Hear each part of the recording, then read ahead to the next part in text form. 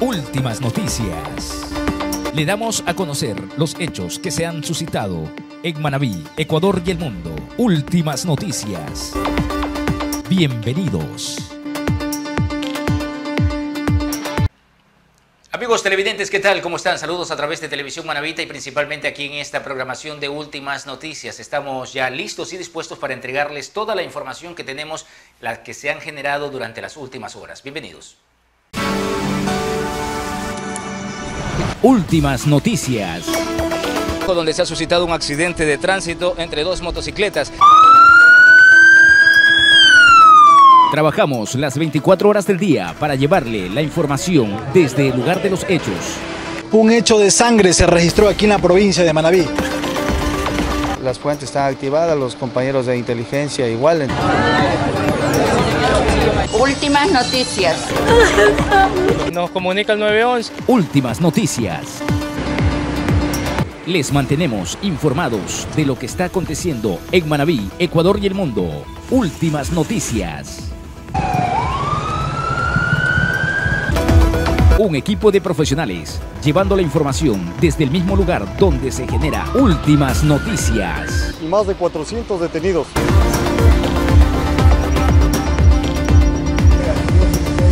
Inteligencia actuó de inmediato.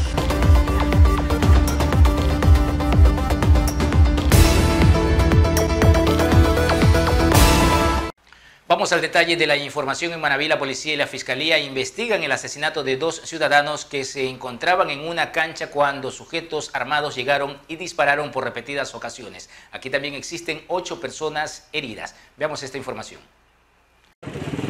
Según la información de los habitantes, los disparos se escucharon en una cancha de voleibol ubicada en la parroquia Leonidas Proaño del cantón Montecristi. Allí, sujetos desconocidos a bordo de una motocicleta dispararon en contra de varios ciudadanos que se encontraban haciendo deporte. Eh, dos tiradores con, eh, con eh, fusil con calibre 5.56 bajan de vehículo y proceden a realizar los disparos ya en, esta cancha múltiple. Luego se dan a la, a la fuga y aparece ya el vehículo incinerado en el sector de Vialarón. Este hecho cobró la vida de Kevin Santana Cedeño y César Cantos Moreira y dejó ocho personas heridas, entre ellas un menor de edad. Todos fueron llevados a una casa de salud. La policía en su intervención manifestó que se investigan las causas de estos asesinatos. Con la consecuencia de dos personas fallecidas, una en el hospital eh, del Seguro y otro en el subcentro de Cuba, que donde ya reportan que han perdido la vida. Ya en el sitio, los agentes policiales, quienes con el apoyo del personal de las unidades de criminalística y DINASET recabaron varios indicios balísticos en la zona, además de otras evidencias que ayuden en las investigaciones para poder identificar y capturar a los responsables de este hecho. Tras cumplir las pericias en el lugar de los hechos, los uniformados se dirigieron hasta la casa de salud, donde fueron llevados los afectados, y tras confirmar la muerte de dos de ellos, se ordenó el levantamiento de los cadáveres, los cuales fueron llevados hasta el centro forense en la ciudad de Manta, para que se les realice la autopsia de ley.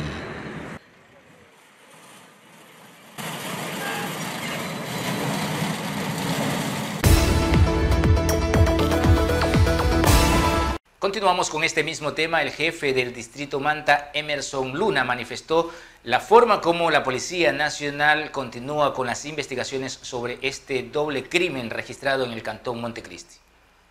Bueno, es en el sector de Leonidas Proaño, en las canchas múltiples, alrededor de las 18 horas 30 se produce este evento violento con la consecuencia de dos personas fallecidas, una en el hospital eh, del Seguro, y otro en el subcentro de Cuba, que donde ya reportan que han perdido la vida. Eh, sin embargo, eh, estamos ahorita verificando los posibles antecedentes o no que tengan. Igual hay personas, eh, ocho de los ocho víctimas están igual seis personas heridas. son ocho, de los cuales dos fallecieron. Así es, ocho, ocho víctimas, dos fallecidos, seis heridos conoce la policía cómo se habrían dado los hechos? Se hablan de que dos personas eh, llegaron en un vehículo. En un vehículo Spark negro, eh, dos tiradores con, eh, fusil con calibre 5.56 bajan de vehículo y proceden a realizar los disparos ya en, esta cancha múltiple. Luego se dan a la, fuga y aparece ya el vehículo incinerado en el sector de Vialarón. Este momento estamos ya eh, en la línea investigativa, no podemos descartar todavía esta, esta presunción de la que usted me acaba de decir, sin embargo, pues ya las unidades que corresponden en este tema de criminalística, policía judicial y DINASED están ya atrás eh, de estos eventos para poder, eh, para poder establecer algún indicio que tengan o antecedentes que pudieran tener de los indicios balísticos se habla que habían utilizado fusil y también armas cortas. Así es, eh, calibre 5.56 es una munición de fusil y calibre 9 milímetros que es una subfusil o puede ser una pistola.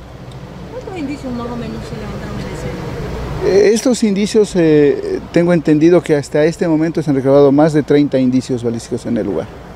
Eh, llama la atención de que ahora, por ejemplo, se, eh, cuando se da un de este tipo de hechos violentos, eh, hay víctimas colaterales o no se respeta la vida de las personas. Había muchas personas en ese momento en la cancha. Así es, este es el uso de la cancha múltiple. Hay varias personas que habían estado haciendo uso de esta cancha y otras observando las acti la actividad deportiva que estaban realizando en el lugar. Ponga mucha atención a la siguiente información. El jefe de la zona acá en Manabí, Richard Vaca, ha comentado sobre los operativos que se han generado durante las últimas horas dejando resultados positivos. Veamos la información. Sí, efectivamente, durante las últimas 24 horas se han dado algunas intervenciones en toda la circunscripción territorial de la provincia de Manabí, Santo Domingo, en donde hemos tenido resultados bastante buenos para eh, la seguridad ciudadana. Obviamente han, han habido organizaciones delictivas que han sido desarticuladas eh, tenemos la, intervención Cero Impunidad 327, la misma que se ejecutó en la eh, ciudad de Manta, en el barrio Altagracia, en donde se logró la aprehensión de sujetos, de cuatro sujetos que estarían dedicados eh, al robo de vehículos. Dentro de los cuatro implicados está Ángel Alejandro PR de 22 años de edad que aparentemente no registra antecedentes. Tenemos Anderson Darío PR de 30 años de edad que sí registra eh, un proceso judicial.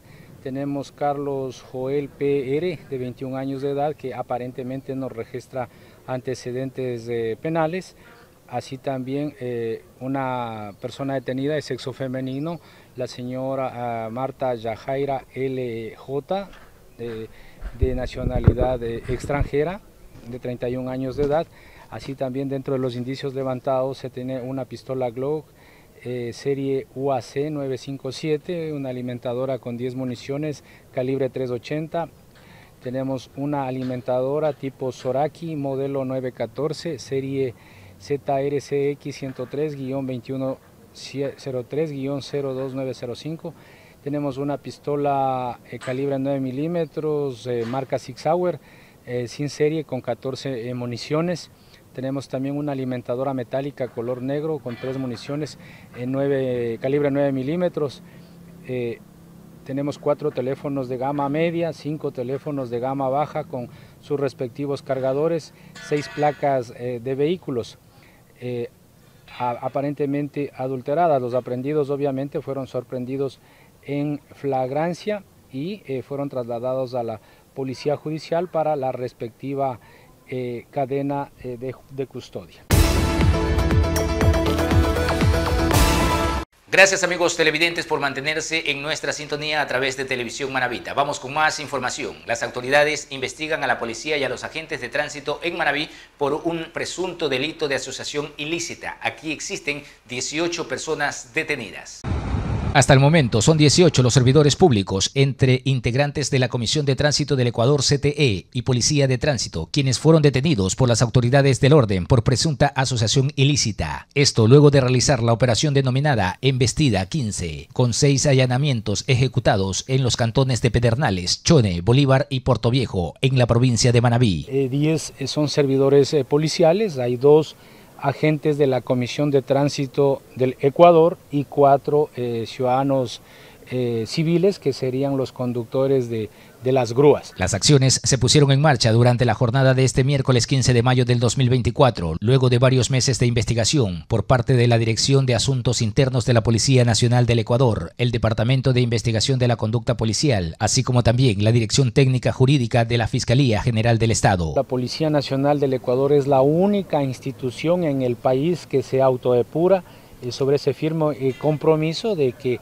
los intereses eh, del Ecuador están sobre cualquier eh, situación eh, grupal eh, personal. Información preliminar señala que personal de la policía y miembros de la CTE realizaban operativos de tránsito en las calles y carreteras de la provincia, donde procedían a retirar los vehículos por presuntas contraversiones que cometían los choferes. Estos malos o presuntos malos funcionarios habrían estado dedicados a, extorsionar al público a través de la prestación de un servicio que eh, eh, por mandato constitucional, pues es totalmente gratuito. La policía indicó que existen algunas evidencias que serán presentadas por la Fiscalía en la audiencia que se llevará a cabo en el Cantón Montecristi. Como indicios de esta operación se tiene 11 eh, terminales móviles y dos vehículos que se encuentran dentro del proceso investigativo. Los hoy aprendidos fueron retirados de las instalaciones del Comando de la Policía Nacional en un bus para trasladarlos a una dependencia judicial a la espera del procesamiento de cada uno de ellos.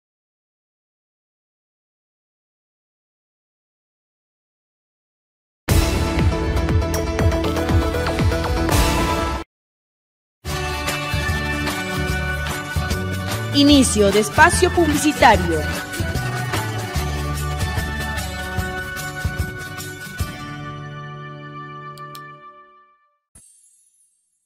Queremos saber cómo imaginas tu futuro después del colegio. La PUSE Manaví cuenta con 17 carreras de grado y 5 carreras técnicas y tecnológicas con espacios de aprendizaje innovador y de bienestar estudiantil, que te permitirán formarte con todas las herramientas necesarias para el mundo laboral. Y ahora también podrás estudiar con nosotros en nuestro nuevo campus Manta. Estás a punto de tomar la mejor decisión de tu vida. Llegó el momento de dejar tu huella.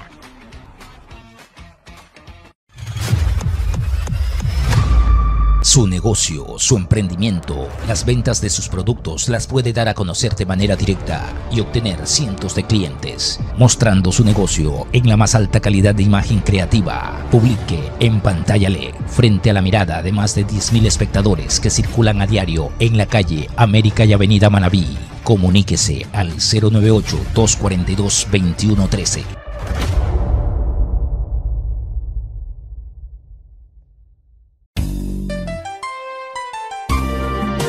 Puerto Viejo cuenta con un centro estético para hombres y mujeres, donde colocan extensiones de pestañas, pelo a pelo, clásicas, volumen tecnológico, mega volumen, lipstick de pestañas que te permitirá realzar tu mirada, depilaciones de cejas con hilo, cera, navaja, sombreado con henna y limpiezas faciales. Trabajamos con los mejores productos orgánicos. Visítanos en la Ciudadela Las Orquídeas frente al parque. Beautiful Magic Look. Te esperamos.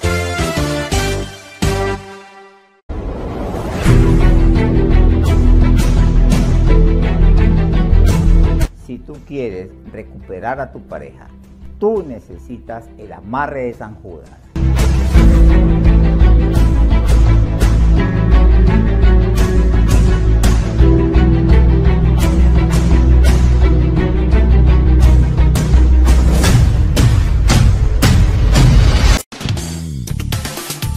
Puerto Viejo ya cuenta con un local donde usted encontrará lo que busca para su vehículo. Venga a la calle Eloy Alfaro y Cristo Rey, donde se encuentra solo frenos. Aquí encontrará pastillas para frenos de su vehículo, zapatas y tambores para toda marca de carro.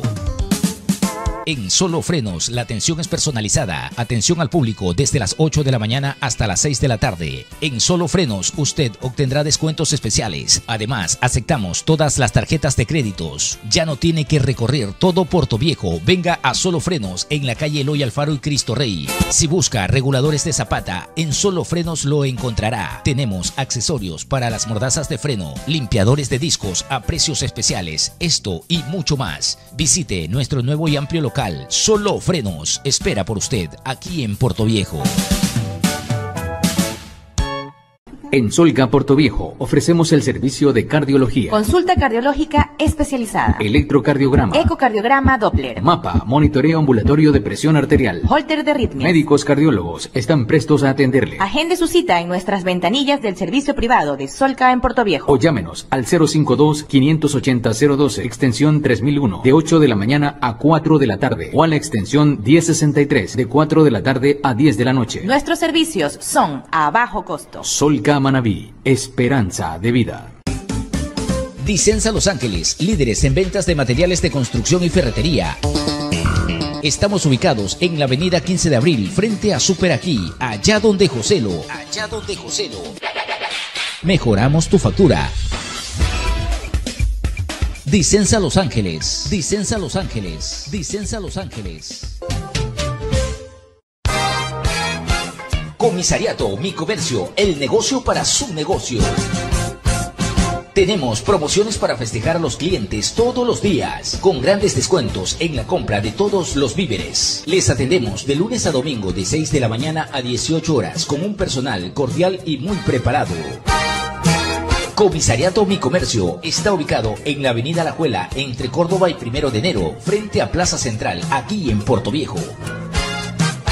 Visite Comisariato Mi Comercio, el negocio para su negocio.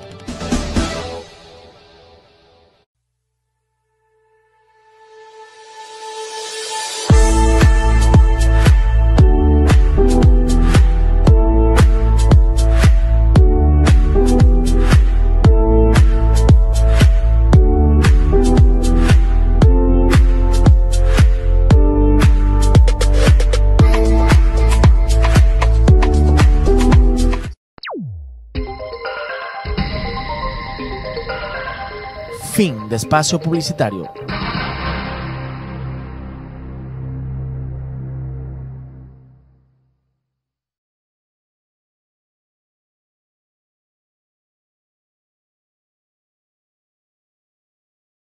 Esto es lo que tiene que ver a lo que es crónica policial. Muchas gracias amigos televidentes por estar en nuestra sintonía. Vamos con más información, ponga mucha atención. Más de 855 establecimientos en la zona 4 de Manaví y Santo Domingo de los Áchilas han sido controlados por el ARSA en lo que va en este 2024. Así lo manifestó Jaime Ceballos, coordinador zonal de esta entidad, destacando que en este trabajo se fortalecerá luego de la firma de convenios de la Universidad Laica Eloy Alfaro y el Servicio de Acreditación Ecuatoriana para mejorar un laboratorio que tiene la institución educativa y así reforzar los controles. Veamos la información.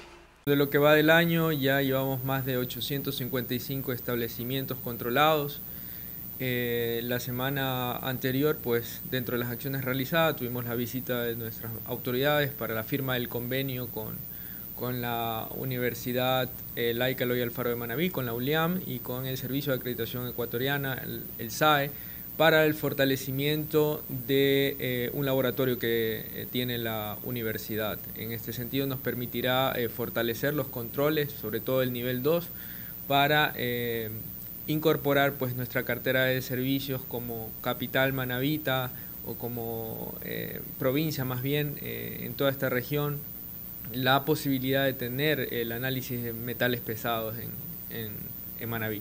En este sentido también entregamos calificaciones tipo A a los establecimientos eh, que expenden, que son restaurantes y que han luego de la supervisión pues alcanzado una, una categoría tipo A que otorga la ARSA. En este sentido, pues invitamos también al, resto de establecimientos que se sumen a esta calificación.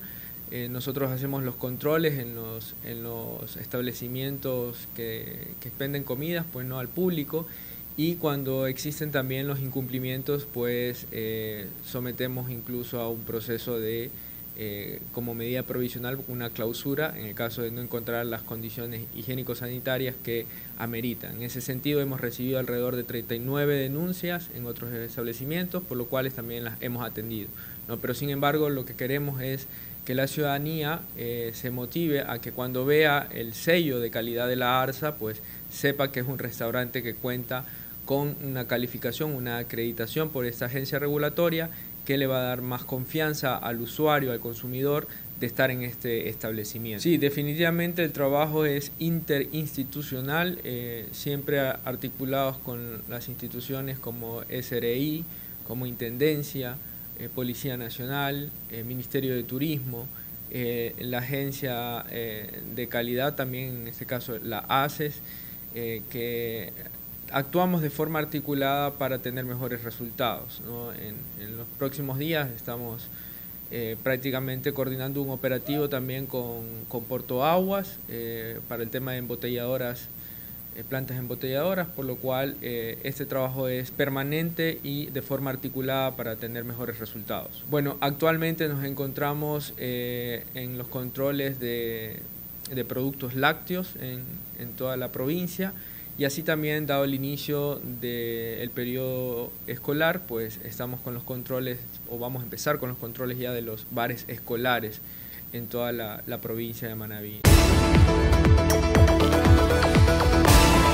Gracias amigos televidentes por estar en nuestra sintonía. Vamos a continuar con más información. Gracias a los convenios que mantiene el municipio de Puerto Viejo y el Ministerio de Educación se han logrado importantes beneficios a la comunidad. Incluso en los próximos días se suscribirá la firma de otro acuerdo entre las mismas entidades donde el GAT local realizará talleres capacitaciones dirigidas exclusivamente a docentes, padres de familia y estudiantes en temas como niños libres de violencia en los hogares y en las escuelas. Así lo manifestó el director cantonal de Desarrollo Humano. Veamos esta información.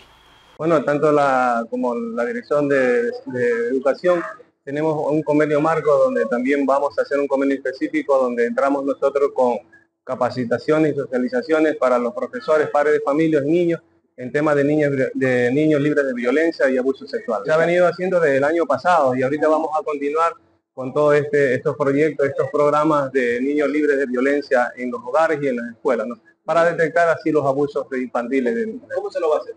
Bueno, a través de socialización, a través de las charlas de los eh, eh, los psicólogos, los profesionales en las áreas de educación, donde el Ministerio de Educación nos da el espacio para poder entrar ahí, ¿no? a través del municipio de Puerto Viejo. En la actualidad tenemos seis psicólogos profesionales y tenemos un convenio también con la Universidad La Católica, que también y la Universidad Técnica de Manadí, que también nos prestan los profesionales para hacer la pasantía. ¿no? Gracias a ellos hemos levantado una estadística eh, a nivel del Cantón Puerto Viejo, donde realmente hay situaciones un poco problemáticas aquí en el Cantón de Puerto problemas de salud mental mucho más todavía. Como le he dicho siempre, nosotros los puertovejenses, los manavitas, hemos pasado, estamos pasando la tercera catástrofe.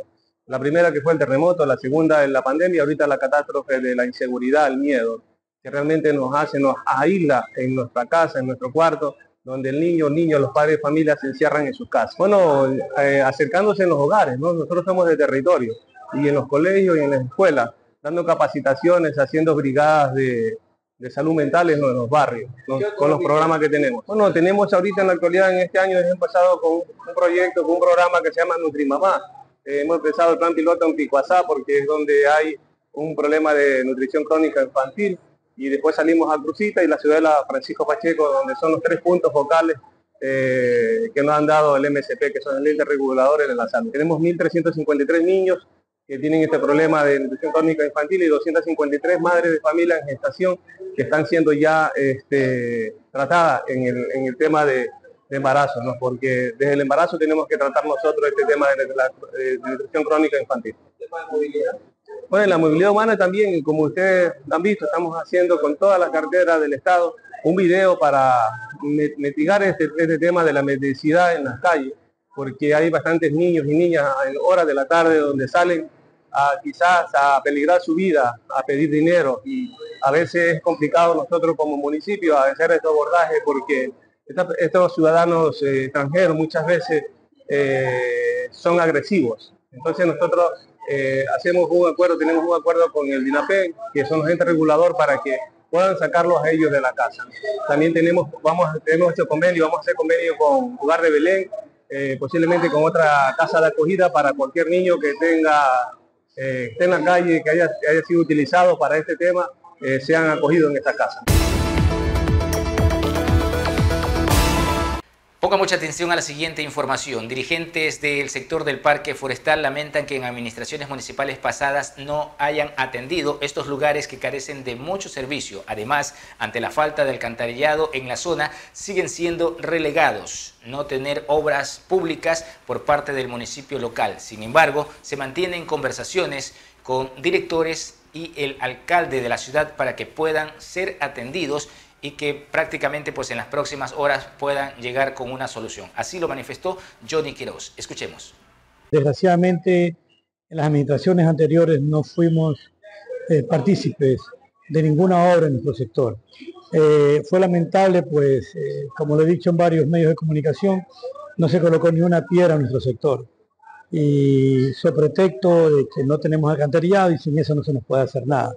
Entonces, carecemos de muchas obras en nuestro sector. Nuestro sector está totalmente abandonado en todos los sentidos. Bueno, estamos en conversaciones, o sea, desde antes de posicionarnos nos reunimos con él. Eh, hay varios puntos, eh, como el tema de toda la ciudadela. Ahorita estamos con la situación de, que está por aprobarse el alcantarillado de la zona norte. Eh, todavía están esperando pues la firma del soberano, esperamos que sea lo más pronto posible y con eso que puedan llegar las obras. Tenemos muchos proyectos, hemos conversado con el prefecto, eh, con Puerto Vial y, esperemos pues que todos los proyectos que tenemos proyectados, la redundancia de nuestro sector, pues se cumplan. Lo dije en este momento lo que es el alcantarillado, pero tenemos un tema de seguridad muy, muy, muy latente en nuestro sector. Eh, nuestro sector ahora es tránsito para las personas que delinquen en el centro de Puerto Viejo. Pues se dirige para nuestro sector porque queda para la vía Río Chico, hay muchas vías que salgan por ahí, entonces están, estamos sufriendo de muchos, muchos robos. He tenido la oportunidad de reunirme con la policía en estos días y la policía, este, tenemos un PAI, tenemos la infraestructura. ¿Por qué no lo rehabilitamos? Nosotros como ciudadela, como comunidad, los cinco sectores que abarca nuestro, nuestro, nuestra ciudadela, estamos sin un policía en nuestro sector. Imagínense ustedes, señores periodistas, que si tenemos una emergencia de delincuencia, tenemos que recurrir al distrito San Pablo, es decir, al PAI que está ubicado en la loma del cementerio. Imagínense la lejura que tienen que cubrir ellos hasta el puente de Mejía. La primera respuesta que me dijo el señor, el coronel de la policía, es que a ellos no les compete la rehabilitación del PAI, sino al Ministerio del Interior. Y respecto a, que yo les propuse a ellos que, que teniendo el comando de la policía muy cerca a nuestro sector, ¿por qué no somos atendidos por parte del comando que está ni a 500 metros de nuestro sector? Entonces me dijeron que ellos que es una situación de o sea, también la policía eh, lavándose las manos, digámoslo así, que es un problema de desempleados por cuestión de territorio. Es decir, estamos totalmente desamparados con la delincuencia. A nuestra escuelita, donde hay 600 niños, en tres meses fueron asaltados seis veces. O sea, se nos llevaron absolutamente todo el sacrificio de actividades de los padres, eh, la zonal de educación, distrito de educación, les quitó eh, la guardianía que tenía. Entonces, hay mucha falencia que en nuestro sector y estoy para trabajar estoy para, para sacar adelante nuestra ciudadela con el apoyo de toda, de toda mi comunidad, de todos mis habitantes. Muchas gracias amigos televidentes por estar en nuestra sintonía a través de Televisión Manavita. Mucha preocupación existe en la clase del taxismo en Puerto Viejo debido a la decisión que han tomado las autoridades de la Universidad Técnica de Manaví. Esto en cuanto al ingreso de los vehículos a los predios del Alma Mater. Sin embargo, los dirigentes de esta agremiación, presidida por Johnny Cedeño, han solicitado una reunión con el rector de la institución, la misma que fue aceptada, aprobada y que se cumplirá en los próximos días. Escuchemos. Estamos muy preocupados con la decisión que ha tomado el señor rector de la universidad, ya que nosotros somos taxis que estamos organizados, estamos regulados por, la, por Puerto Vial, cumplimos con todo lo que nos piden, nosotros tenemos las placas en los en los techos de los vehículos, tenemos un número de identificación y, nosotros no nos ingresado a la universidad. El caos que se forma antes de ingresar a la universidad por ese motivo es grande. Entonces, creemos que el señor rector tiene que tomar una decisión un poquito más socializada con nosotros para conversar el tema, porque es verdad que puede haber algo que nos afecte como universidad técnica, pero ahí estamos para conversar nosotros. Le hemos pedido una reunión el día lunes a las 4 de la tarde, nos ha aceptado una reunión el señor rector de la universidad muy amablemente, esperamos ahí consensuar los temas, conversar lo que nos lo que le conviene a la Universidad Técnica al estudiante, porque no puede ser que nosotros como somos taxis legalizados no nos ingresar, los carros particulares ilegales entran como que nada pasa. Entonces tenemos que conversar con el señor rector para hacerle entender que nosotros no somos parte del problema, somos parte de la solución del problema de la universidad. Pero un juicio para los estudiantes y para todos, para nosotros. Imagínense, eso está fomentando la ilegalidad, porque en este momento, ¿quién puede entrar libremente? Los, los ilegales. O sea, estamos en una situación que tenemos que aportar también en seguridad, yo sé, pero la ilegalidad es parte de la seguridad del país. Entonces el señor rector tiene que tomar también en cuenta ese, tema. Bueno, eso vamos a conversar, digamos, alguna propuesta para que se viabilice el problema, porque créanme que incluso hemos estado los, los, compañeros taxistas en la universidad, la parte de afuera, es un caos tremendo. O sea, se ha armado algo que hasta Puerto Vial tiene que tomar cartas del asunto. Ya que hay, hay, una congestión tremenda. Parece que no hay una buena socialización del tema y esperemos que en la reunión que tengamos el día lunes, el señor rector de la universidad sepa entender que nosotros somos parte de la ayuda a la, a la ciudadanía, no estamos para perjudicar a nosotros. También es verdad, somos una una, somos un gremio bastante amplio, somos más de 2.000 taxistas, que por ahí alguien se nos puede escapar, no podemos tapar el sol con un dedo, pero sin embargo estamos dispuestos a colaborar en todo lo que se pueda para el bien de la ciudadanía, los estudiantes, de todos.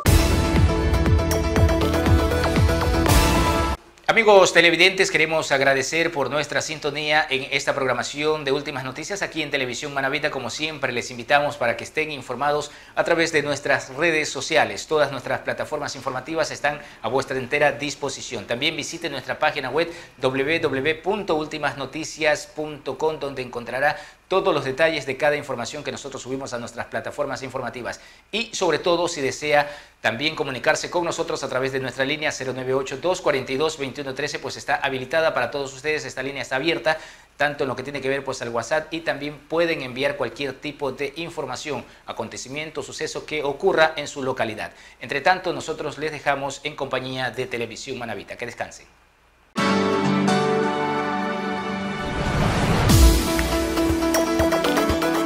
La información tiene que ser exacta. Un equipo de periodistas siempre estará en cada lugar, en cada suceso, para contarnos lo que acontece. El ayer en la noche estaba consumiendo, todavía tendríamos que esperar. Usted tiene que estar siempre enterado de lo que pasa en Manabí. Información a cada instante. Somos Últimas Noticias.